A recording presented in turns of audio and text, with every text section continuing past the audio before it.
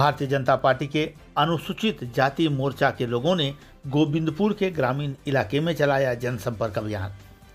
जी हाँ राज्य सरकार जहाँ आपकी योजना, आपकी सरकार आपके द्वार कार्यक्रम चलाकर लोगों को यह बताने का प्रयास कर रही है कि झारखंड सरकार जनता की हितैषी है और जनता के लिए काम कर रही है।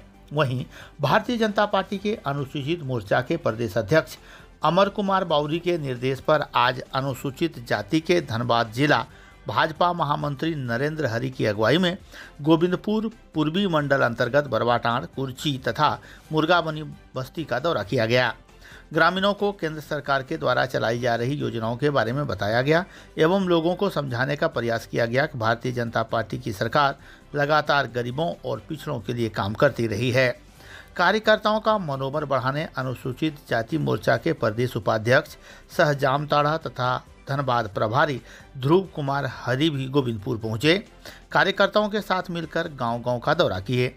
ग्रामीणों से मिले एवं उन्हें केंद्र सरकार की योजनाओं के बारे में समझाने का प्रयास किया।